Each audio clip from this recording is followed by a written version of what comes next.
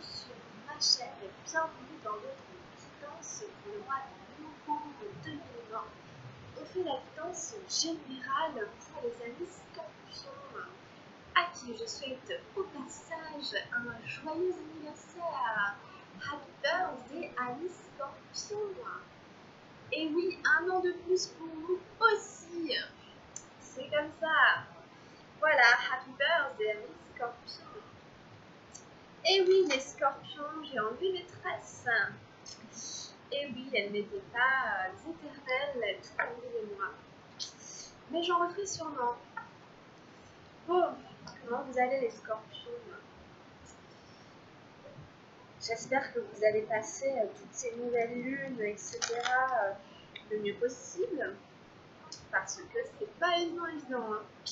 Les énergies là, donc là on est euh, fin octobre fait la guidance, on est, euh, on n'est pas très très loin de la nouvelle lune en fait, hein, euh, qui a eu lieu là, le, le 16 octobre. Donc, voilà les scorpions, euh, voilà. Bon, en tout cas, j'espère que vous avez la forme, le moral et la santé, que vous allez passer un super anniversaire et que vous allez bien. Alors, on y va pour vous. Elle est tombée par terre. Alors.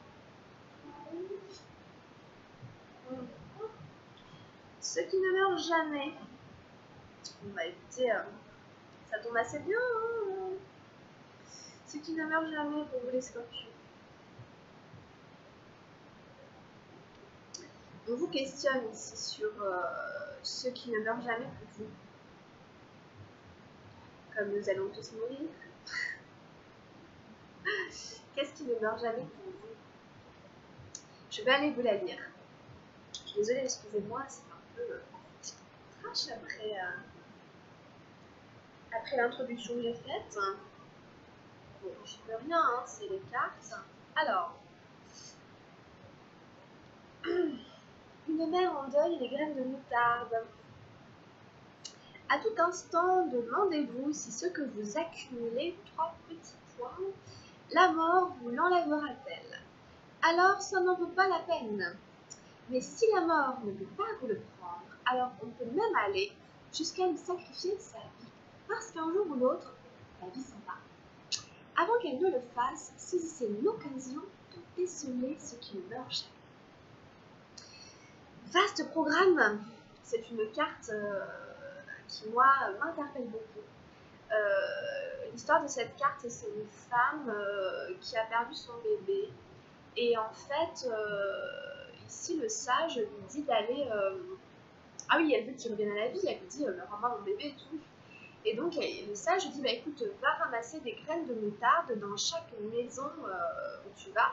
Euh, par contre, on te donne des graines seulement dans les maisons où il n'y a eu aucun décès, où il n'y a eu aucun mort. Alors elle dit Ouais, ouais, donc elle y va.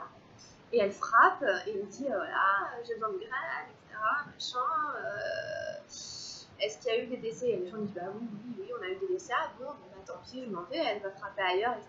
Puis elle revient voir le sage et dit J'ai aucune graine, il y a eu des décès partout. Et voilà, c'est ça la parabole. Ça finit grosso modo comme ça. Bon, allez, je vous mets sur la carte. Alors, non mais c'est juste pour euh, méditer, hein, pour méditer là-dessus, il n'y a pas de, j'ai pas la réponse moi. hein. Alors, on en prend une deuxième. Alors, on en prend une deuxième. On a eu la renonciation au savoir. Oh la vache Oh les scorpions, elle est terrible Ok. Bon bah voilà. En gros, euh, vaste programme pour vous en novembre. Renoncez au savoir, jetez les livres, jetez euh, tout ce qui est euh, matériel et donc euh, destructible et donc mortel pour aller chercher quelque chose de beaucoup plus vieux, de beaucoup plus ancien, de beaucoup plus profond qui ne pourra jamais être détruit c'est la renonciation de savoir. On voit quand même un personnage qui est en train de balancer tous ses livres dont il s'est servi pour apprendre des choses. Alors, en fait, vous voyez, c'est la numéro 13 et la numéro 30. Donc on est dans les trois. La renonciation au savoir vous dit La vision obsédante de Maropa. La vie est une expérience personnelle, une révélation personnelle. Même si j'en fais l'expérience et que je vous en parle, au moment où je le fais, c'est pour vous un mensonge non une vérité. Pour moi, c'est la vérité, je la vois de mes propres yeux, c'est ma vision. Pour vous, ça n'est pas votre vision, c'est quelque chose d'emprunté, c'est une croyance, un savoir, non du connu. Elle entre par vos oreilles et si vous commencez à y croire, vous croyez en un mensonge. Souvenez-vous-en, une vérité devient un mensonge si elle ne pénètre pas en vous par la bonne porte. La vérité doit entrer par la porte principale, par les yeux. La vérité est une vision, elle doit être vue. En fait, ça vous dit euh, de ne pas avaler n'importe quoi et de faire les expériences par vous-même, de faire vos propres expériences de la vie pour en tirer vos propres vérités, vos propres conclusions. Elle vous invite à aller euh, chercher euh, la connaissance à travers le, vécu, la vue, mais à travers tous les sens. Hein, et non pas à travers des livres, à travers quelqu'un qui vous raconte quelque chose. Hein.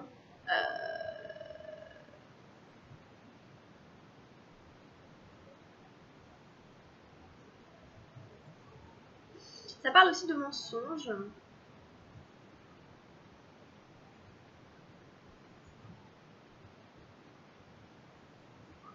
Euh,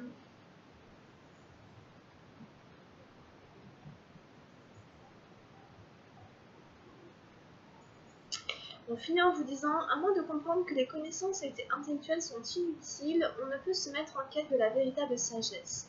Vous prendrez euh, des vessies pour des lanternes.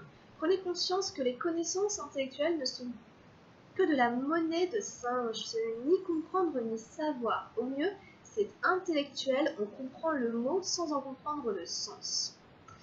Euh, c'est ça, comprends-tu les mots ou comprends-tu le sens? Euh, Ça passe par l'intellect, mais ça ne passe pas par l'expérience, par l'expérimentation. On vous dit attention, tu vas prendre des vessies pour des lanternes. Ici, il y a l'idée aussi de croire des choses qui ne sont pas vraies, des choses qui sont fausses parce qu'on n'a pas été euh, les expérimenter par soi-même. On n'a pas été mettre à l'épreuve en fait euh, ces choses-là, vous voyez? Et c'est ce que fait ce personnage ici. Euh, en allant chercher les graines de moutarde, elle fait l'expérience que son bébé ne pourra pas revenir à la vie. Mais avant ça, elle croyait que c'était possible. Hein, et, elle vit une expérience qui est un peu douloureuse d'ailleurs, hein, puisqu'on ne donne aucune graine, donc euh, qui, va à l'encontre de ce, à quoi elle s'attendait. Euh, donc en fait, le savoir, des fois, il est à, à chercher, il est à trouver de manière complètement différente euh, que celle bah, qu'on explore à l'accoutumée. Hein, on va tous à l'école, on va tous à l'université, etc. Et puis, et puis il y a d'autres choses qui s'apprennent complètement différemment. Et c'est l'expérience, c'est vraiment le vécu ici. Hein. On parle de ça, de vraiment aller, aller vivre soi-même pour en tirer sa propre euh, vérité de l'expérience. Bon, c'est un. Moi, je trouve ça très intéressant pour vous, les scorpions. Alors, on passe euh, au tirage avec le tarot euh, alors, on va prendre l'énergie euh, générale pour vous ici, euh, pour le mois de novembre. Hop On prend l'énergie ensuite de la sphère, il faut que je mette sur le côté. vous voyez, voilà, je suis toujours un petit peu à innover, à faire des tirages un peu différents, à prendre, euh, voilà. Mais après, ça reste toujours dans l'ensemble un peu toujours similaire. Alors, alors ici, on est dans la matière, dans l'énergie matérielle, ici pour les scorpions pour novembre. Qu'est-ce qu'on a ici en novembre pour le scorpion?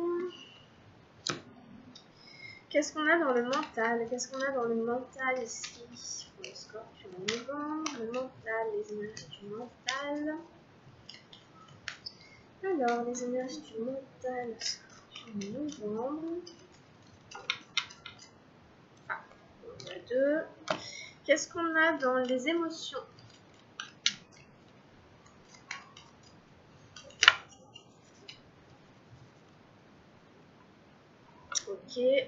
Et qu'est-ce qu'on a dans le spirituel oh Alors, dans le spirituel, excusez-moi. Oui. Alors, spirituel. Tac, on prend celle-là. Allez, on va les tourner. Qu'est-ce qu'on a eu? Ok. L'épuisement, la numéro 9, de feu, en plein milieu de tirage. Waouh, les scorpions, on est fatigués. Alors là, on est, on est crevé, ok. Le 3 d'arc-en-ciel, le guide dans la vie matérielle. La compréhension et la schizophrénie dans les énergies du mental. Le cavalier dans le valet d'eau, le valet d'eau et le 2 des nuages. Ensuite, on a les amoureux dans les énergies émotionnelles, la 6 euh, des arcanes majeures, très. Et on a l'intensité, le cavalier de feu, dans les énergies spirituelles. Ok, bon, c'est un tirage assez dense. Hein. Franchement, les scorpions, un petit peu, un petit peu dense, un peu éprouvant. Euh, alors, on va aller le décrypter. Donc, il y a, cette idée que vous êtes euh, crevé. Il y a quelque chose qui vous fatigue, il y a quelque chose qui vous épuise particulièrement. Ok? Ou alors, vous êtes tout simplement euh, épuisé, quoi, à la suite de, je ne sais pas, pour X raisons, le travail, euh, l'argent, la famille, euh, les ennuis, les soucis de santé, euh, mal à la tête, des migraines, enfin n'importe, je ne sais pas, il y a quelque chose qui vous, qui vous met complètement à plat là en novembre. Donc il faut faire attention, il faut vous ménager, hein, euh, essayer de trouver vraiment des moments où vous pouvez vous reposer, vous, vous recharger, euh, essayer de trouver des manières de prendre soin de vous, de prendre soin de votre corps, etc. Euh, essayer d'avoir une bonne alimentation, d'avoir une bonne hygiène de vie pour vous retrouver l'énergie, parce qu'ici il y a un épuisement, un épuisement mental, j'ai l'impression, moral, qui touche ensuite le physique. Vous avez moins d'énergie pour, pour prendre soin de vous, vous avez moins d'énergie pour faire les choses. Bon. Alors, dans la matière, on a le guide de la 3 d'arc-en-ciel. Alors, c'est vraiment l'énergie euh, complètement éthérée pour la vie matérielle, donc c'est assez intéressant. Euh, on voit quand même sur la carte un ange hein, qui vient au secours, qui vient à l'aide hein, de ce personnage, qui peut être vous, hein, euh, pour le guider, pour l'accompagner. On vous dit que vous n'êtes pas seul ici et euh, de penser peut-être à faire appel à quelqu'un, d'essayer d'aller demander de l'aide, du soutien, de formuler des demandes, des, prières, enfin n'importe, des choses qui vous relient euh, pour que vous vous sentiez moins seul et que vous, osiez demander de l'aide, que vous alliez demander du soutien, de l'aide, etc. Puisqu'on vous dit qu'il y a des êtres, donc qu'ils soient visibles ou invisibles, qui sont, qui sont prêts, qui sont là pour vous aider. Donc ça peut être pareil, ça peut être matériel, ça peut être euh, financier, je veux dire, ça peut être au niveau de l'argent, euh, ça peut être euh, au niveau de votre corps physique, enfin c'est tout, vraiment tout ce qui touche la matière au, niveau de votre confort, de votre sécurité matérielle. Si jamais euh, il y a quelque chose d'un petit peu difficile à cet endroit-là, on vous invite à aller vraiment vous tourner vers votre guidance, vers, vers, les aides, vers les aides, d'aller les chercher, ou si on vous en propose, etc., de les saisir tout de suite. Le guide est là. Ça vous dit aussi que vous êtes guidé dans votre vie matérielle vous êtes guidé sur votre euh, chemin au niveau de votre travail, etc. Donc ayez confiance aussi en votre bonne étoile. Hein, euh, euh, pour ceux qui ne croient pas forcément à tout ça, à tous les anges et tout, c'est aussi croire en fait en, sa bonne fortune, en, sa bonne étoile. avoir confiance que les choix qu'on fait, l'endroit où on travaille, l'endroit où on vit, à partir du moment où le choix est fait vraiment avec le, cœur, quelque part, répond à une envie, etc., à du sens, d'un point de vue, vous vous met quand même en joie, euh, d'une manière ou d'une autre, bah, c'est que c'est le bon chemin. Donc essayez aussi de garder confiance que vous êtes guidé euh, sur votre chemin euh, d'incarnation, hein, dans votre vie matérielle, professionnelle et financière et aller demander de l'aide éventuellement à l'occasion si vous avez l'impression d'être un petit peu perdu ou de nager un peu dans le brouillard. Euh, il y a toujours des aides qui sont là euh, pour ça. Ensuite, dans le mental, il y a plusieurs choses. Alors, on va avoir la compréhension ici, le cavalier d'eau, le valet d'eau, pardon où l'on voit des oiseaux, euh, etc. Il y a un oiseau dans une cage, il y a des oiseaux à l'extérieur, et on a là deux des nuages et la schizophrénie. Euh, qui nous parle en fait, si vous voulez, bon, il y a plusieurs interprétations, on est dans le mental. Donc il va y avoir une idée d'enfermement, il va y avoir une idée d'être complètement bloqué, complètement coincé euh, que ce soit dans une cage intérieure, mentale, que ce soit du coup même physiquement. On a, on a l'impression qu'on ne peut pas bouger. il y a cette première notion avec ces deux cartes, que vraiment on est bloqué dans notre mental, on est piégé par notre mental, on est pris au piège et on ne peut pas en sortir. Vous voyez, dans cette carte ici du 2 des nuages, on est dans une impasse. On ne peut aller ni à droite ni à gauche. On a un personnage qui est suspendu au-dessus d'un vide qui doit lui foutre une trousse euh, pas possible. Une, frousse, pardon. Une frousse pas possible. Enfin bref, si vous voulez, il est particulièrement inconfortable dans cette position. Il y a l'idée que vous êtes dans une situation inconfortable, les amis scorpions, euh, qui vous épuise. Euh, et vous avez besoin d'aide pour, pour, pour, pour, être rassuré sur votre chemin d'incarnation. Parce que ici, euh, on est dans une position particulièrement inconfortable. Hein. le personnage, vous voyez bien, il n'est pas du tout à l'aise. Qu'est-ce que vous voulez Il est complètement. limite, il est écartelé, vous voyez Et en plus, il a peur de tomber. Enfin, c'est l'horreur, quoi. Donc, le problème, c'est qu'on est bloqué par son mental ici. On est dans un, schéma mental qui ne nous permet pas euh, de trouver une solution. C'est-à-dire qu'on a tellement peur euh, de sauter, euh, de lâcher, qu'on reste complètement paralysé. Et en fait, le fait d'être paralysé nous empêche d'être libre. La carte de la compréhension nous parle de la liberté, mais c'est la liberté d'être la liberté d'être soi, la liberté d'être vrai, la liberté d'être authentique, la liberté de vivre ses rêves, la liberté euh, euh, de s'affirmer. Euh, après, c'est la question, c'est quoi pour vous être libre? C'est quoi pour vous être libre Est-ce que c'est n'avoir aucune contrainte? Est-ce que c'est être très riche? Est-ce que c'est oser dire ce qu'on pense? C'est quoi pour vous la liberté? Ici, cet oiseau, vous voyez, il a la possibilité de partir voler avec euh, les autres dans le ciel. Ou alors, il peut choisir aussi de rester dans, la cage.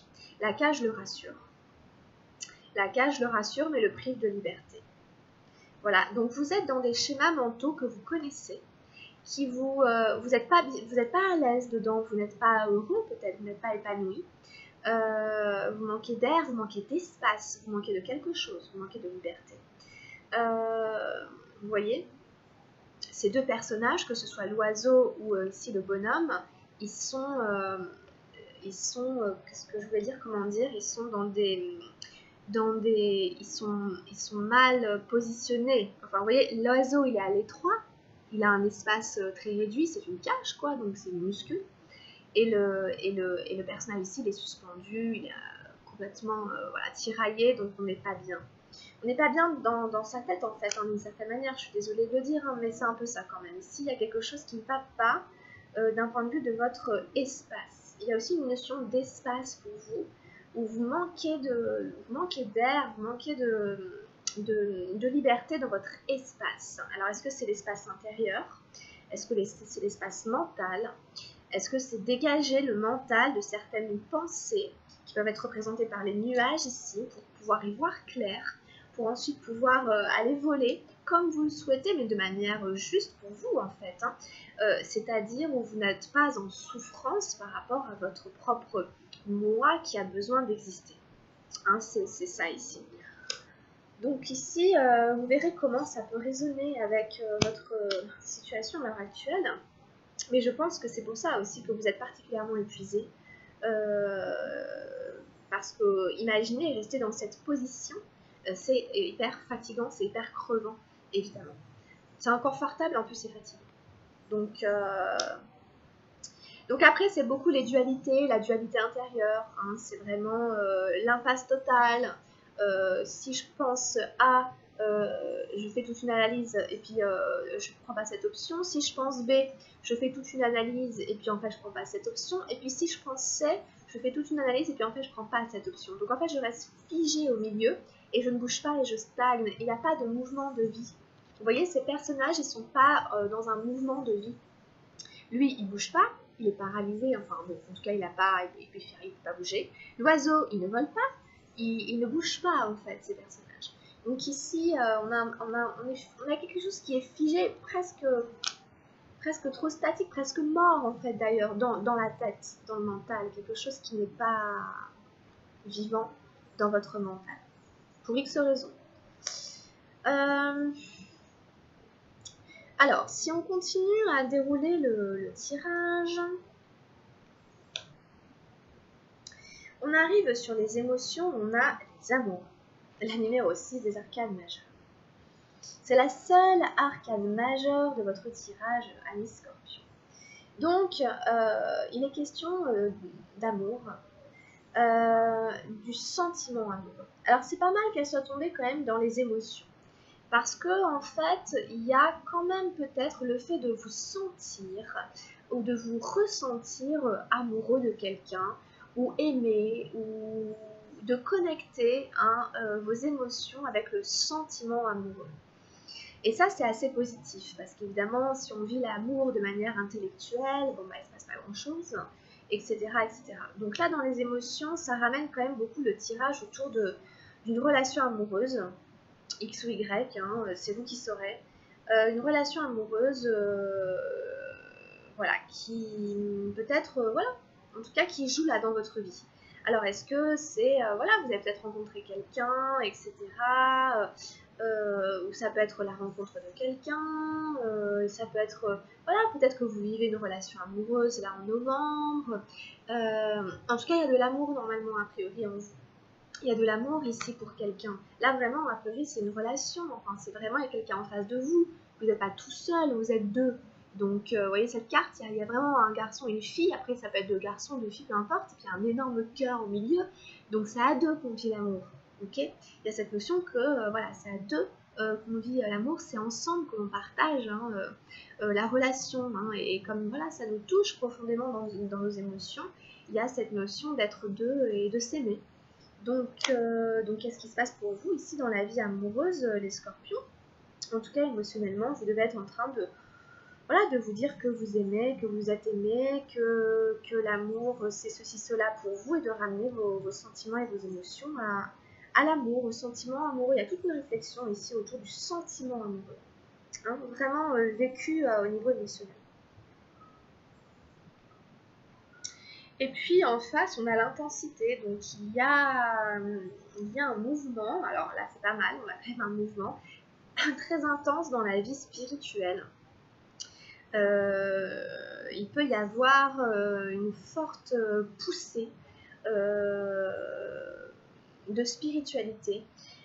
que ce soit voulu ou non hein, de votre part. C'est une énergie qui est là et qui, vous appelle un peu. Moi, je prends un peu comme un appel de la spiritualité à vous, qui, vous dit mais, mais viens, implique-toi, il se passe quelque chose ici au niveau spirituel. Euh, ici, si on met de l'huile sur le feu, ça va, ça va, ça va être énorme ici. Hein. donc, euh, ça boue ici pour, euh, pour qu'il y ait des compréhensions, des entendements, etc. Au niveau spirituel, c'est assez fort. donc, voilà, c'est une carte pour moi qui intensifie toutes les autres cartes.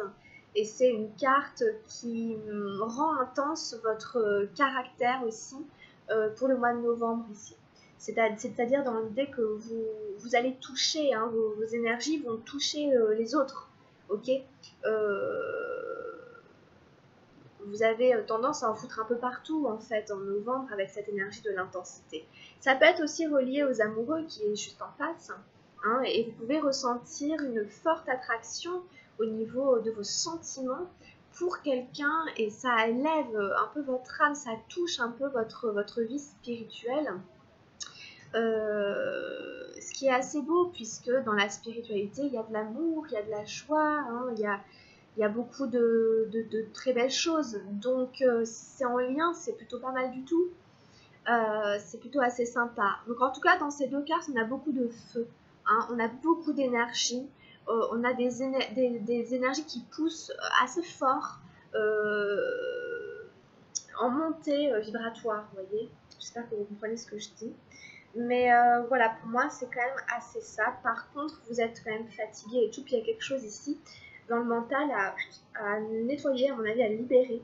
Et il y a des réflexions assez profondes pour vous euh, pour novembre.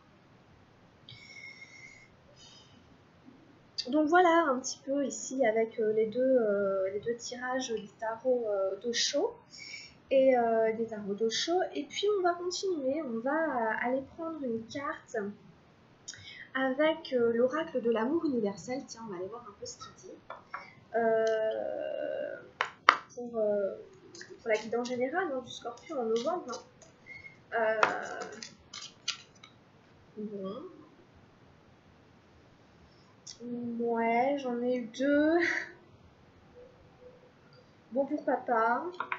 On a eu l'âme sœur et l'éternité. Donc c'est quand même assez euh, puissant, puisque euh, l'âme sœur hein, me parle d'un âme sœur, d'une âme sœur et va renvoyer vraiment à la carte des amoureux qui était dans votre tirage. Euh, on voit une déesse hein, qui surgit, qui sort d'une fleur, d'une fleur, sûrement d'une fleur de lotus, et qui est connectée en fait à son féminin sacré, à la pleine lune, avec un très joli arc-en-ciel qui représente un peu la terre aussi, et le soleil. Et on a l'éternité ici qui va renvoyer vraiment à la carte, non pardon, pas l'éternité, l'étreinte, excusez-moi, n'importe quoi. L'étreinte. L'étreinte qui, alors du coup, euh, âme sœur, étreinte. Donc je vais aller vous les décrire en fait avec euh, le livret. Euh, alors, on va commencer par sœur. L'amour est l'énergie divine et universelle de la vie. Il est vivant, intelligent et en communion permanente avec toute la création. Lorsque l'amour vous appelle, allez vers lui. Ne cherchez pas de raison à ce voyage qui vous est offert. Quelque part, une autre âme vous cherche. Quelque part, un cœur se sert de nostalgie. La nostalgie d'aujourd'hui deviendra la joie de demain. En attendant ce moment-là, sachez que vous vous retrouverez dans vos rêves. Si vous avez déjà rencontré votre âme sœur, cette carte vous rappelle de chérir l'être aimé et d'éprouver de la gratitude envers cet amour que vous partagez ensemble. Donc c'est vraiment magnifique. Ici, euh, s'il y en a qui ont trouvé hein, vraiment euh, quelqu'un qui peut être leur âme sœur, on vous dit vraiment chéris ça, euh, remercie, en grâce pour avoir trouvé cette personne, etc. Hein. L'amour que l'on partage ensemble, c'est ce dont on parlait tout à l'heure. Et puis sinon, on vous dit quelque part quelqu'un vous cherche hein, et vous vous cherchez aussi. Et on vous dit que vous, vous, allez vous retrouver à un moment ou un autre. Euh, que ce soit dans vos rêves peut-être ou, autrement, et que la nostalgie d'aujourd'hui deviendra la joie de demain. Donc euh, on vous rappelle aussi que l'amour est l'énergie divine et universelle de la vie, hein, que c'est l'amour qui crée la vie en fait, hein, que l'amour est vivant, intelligent et en communion euh, permanente avec toute la création, avec tout ce qui se passe en fait. Et on vous dit évidemment que quand l'amour vient vers vous, bah, allez vers lui. Hein, sans forcément chercher des raisons dans la, dans la raison, dans la tête, dans le mental, c'est quelque chose qui vous est offert, c'est comme un cadeau. Donc euh, allez-y.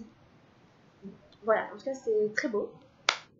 Et avec l'étreinte, alors l'étreinte, je crois qu'elle vous dit aussi de vous donner beaucoup d'amour à vous-même. L'étreinte, euh, c'est serrer aussi les parts d'ombre qui sont en nous. Euh, parce qu'en fait, on voit un personnage qui en tient un autre qui en tient un autre dans ses bras, mais si vous regardez bien, il y en a un qui est un petit peu sombre. Euh, celui qui est derrière est un peu, on le voit moins. La carte est quand même un peu, il y a des couleurs un petit peu sombres en fait, hein, donc euh, je vais vous la lire. Une nouvelle opportunité est sur votre route, mais afin de la saisir, vous devez accepter et aimer les nombreuses facettes de votre personnalité. Pour ce faire, vous pouvez lister tout ce que vous aimez chez vous ainsi que tout ce que vous n'aimez pas ce sont généralement les choses que vous cherchez à cacher aux autres, avec lesquelles vous ne vous sentez pas à l'aise ou dont vous avez honte. Listez chaque chose qui semble vous décrire bonne ou mauvaise. Puis regardez très attentivement la liste des choses que vous n'aimez pas chez vous. Maintenant, remplacez chaque chose négative que vous avez notée par deux choses positives. En réalité, il y en a beaucoup plus que deux, mais pour le moment, euh, contentons-nous de deux. Puis retournez à votre liste positive à vos qualités et trouvez-en au moins deux négatifs pour chaque. Avec un peu de pratique, vous vous rendrez compte que chaque qualité engendre un défaut et vice-versa. Chaque qualité que vous possédez est au service d'un objectif important. Acceptez et aimez vos qualités autant que vos défauts.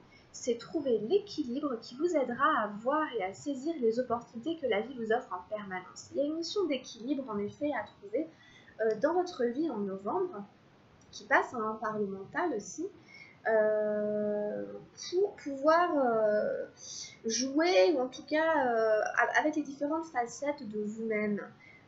Et d'aller voir un petit peu quelles sont vos qualités, quels sont vos défauts, etc. Et pourquoi pas faire cette, cet exercice avec cette liste. Et puis, on vous dit que chaque qualité hein, que vous possédez est au service d'un objectif important. Hein. Euh, et aussi qu'il y a une nouvelle opportunité, il y a quelque chose qui arrive, mais que euh, pour le saisir, il va falloir euh, accepter en fait les différentes facettes de, vous-même. On a tous hein, plusieurs parts en nous, il se passe toujours plusieurs choses. donc voilà un petit peu pour les cartes ici avec l'amour universel. On va euh, prendre euh, encore euh, peut-être un petit conseil simplement avec les portes de l'intuition. Alors, qu'est-ce qu'on a au niveau du conseil pour les scorpions? Oula Et on a eu bah, l'intuition. Ok. Votre intuition vous souffle des messages. Suivez ses conseils. Voilà, ici, il est important de réussir à écouter les messages de votre intuition. Euh, si on vous le dit, c'est que c'est important, ça n'est pas pour rien. Ce sont des messages, ce sont des guides, et que si on ne les écoute pas, on, on se perd.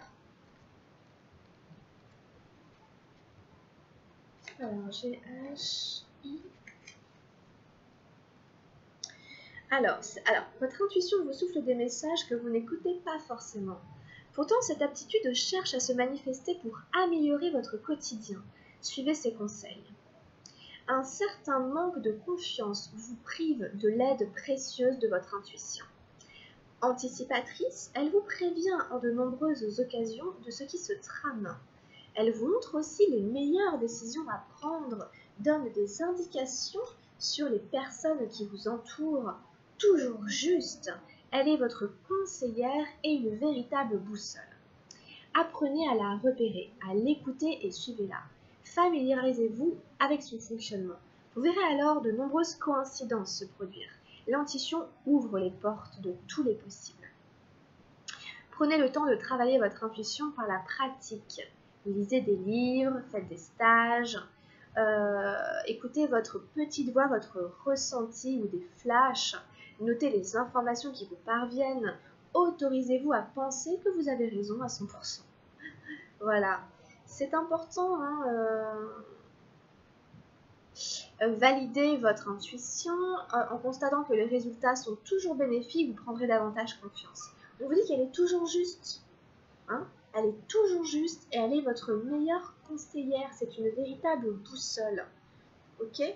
Donc, il y a pas mal de guidances qui, sont ressorties pour vous. Il y a l'intuition, il y a le guide. Donc, on cherche à vous aider, à vous accompagner. Ok, c'est ça, c'est vraiment ce qui est représenté sur la carte, sur une boussole. Donc, euh, n'oubliez pas que ça passe beaucoup par votre ressenti. Euh, donc, vous savez comment un peu ça fonctionne, même si euh, voilà, j'ai cette intuition-là qui, qui, me vient. J'y vais. Et après, je suis confortée, je suis contente d'avoir écouté mon intuition. Et c'est comme ça que vous allez gagner en confiance en vous. Hein, ça passe aussi par, euh, par ça. Hein, on parle ici d'un manque de confiance dans votre intuition. Euh, et on voit bien le, le, blocage au niveau du mental. Donc ça peut être un peu un rouage ici pour vous pour réussir à débloquer des choses euh, et à avancer, à continuer à avancer. Hein. Mais il va falloir apprendre en fait à faire confiance à ce potentiel qui est en vous euh, et qui demande à être euh, exploité, hein, à être utilisé en fait, à être reconnu, à être intégré quoi. Donc, euh, voilà, c'est pas mal, hein, c'est intéressant. Est-ce qu'il y en a un autre Est-ce qu'il y a un autre message pour le scorpion en novembre?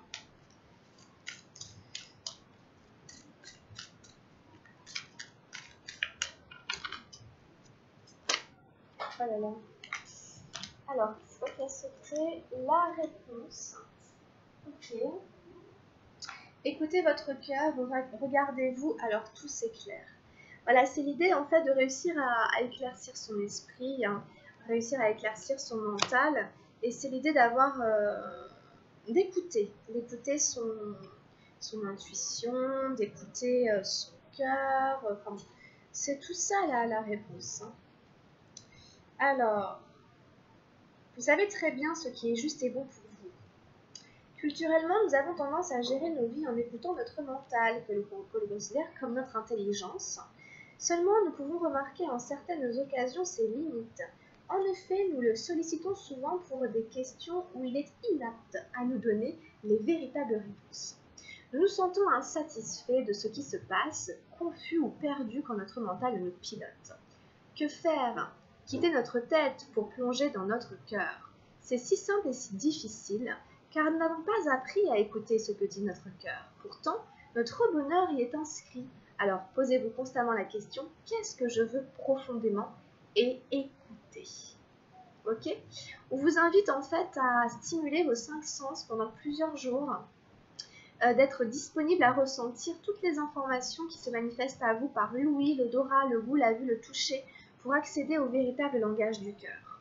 C'est comme ça hein, que, se manifeste un peu le langage des oiseaux, le langage du cœur, l'intuition, le langage de l'âme, etc. Il faut savoir écouter tout ça, hein, et ça s'apprend. Mais encore une fois, ça passe par l'expérience de vous, de vous par, votre propre expérience. Et ça, vous, aurez des notions dans le livre, mais c'est à vous de le vivre. C'est votre livre, en fait, à vous, quelque part, hein, qu'il s'agit ici d'écrire de, et de, mettre en pratique, en fait. Bon, D'accord, ok. Bah écoutez, euh, on arrête là avec les bords de l'intuition. Et on prend un dernier message avec l'oracle des anges gardiens. Pour le scorpion en novembre, qu'est-ce qu'on a comme petit conseil des anges gardiens? Alors,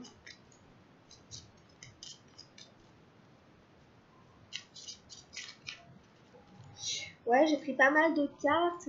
J'ai pris pas mal de cartes. J'ai tiré un peu plus de cartes qu'avant parce que bah, j'en ai On a la manifestation. Crois en toi et confiance en ton intuition et suis ton cœur. Car par cette attitude, tes désirs les plus profonds vont s'exprimer. La vie que tu rêves de créer depuis si longtemps va bientôt se manifester. C'est super joli parce que ça fait vraiment la jonction entre les deux cartes ici des ports de l'intuition. Il y a comme ça ça fait vraiment le lien. Hein, on vous dit vraiment d'écouter, de, croire, d'avoir confiance en votre intuition et de suivre votre cœur. Hein, par cette attitude, vos rêves en fait vont se réaliser. Mais c'est comme ça qu'il faut faire. voilà, Annie Scorpion, j'espère que la guidance vous aura plu. Hein. Pensez à la liker si c'est le cas ou à vous abonner à la chaîne. Et puis, bah, j'espère que ça saura vous accompagner, vous aider pour novembre. Euh, si vous avez envie d'une guidance personnalisée, vous pouvez m'écrire à camilledesil.com. Vous me trouver aussi sur euh, Messenger. Voilà, voilà, et ben euh, plein de bonnes choses à vous, Amis Scorpion, encore bon anniversaire. Et puis je vous retrouve tout de suite pour votre guidance sentimentale. A très bientôt, grosse bise. Bye bye